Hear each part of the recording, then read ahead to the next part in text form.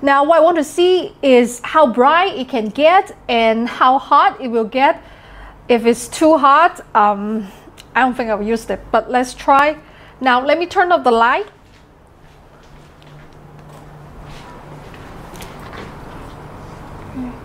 Let me set it to the brightest.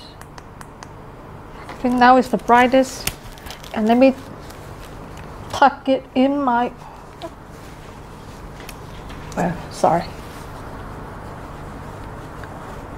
Can you see now? I tuck it in. You can see it's shining through my skin. It's pretty cool. But it gets a little warmer.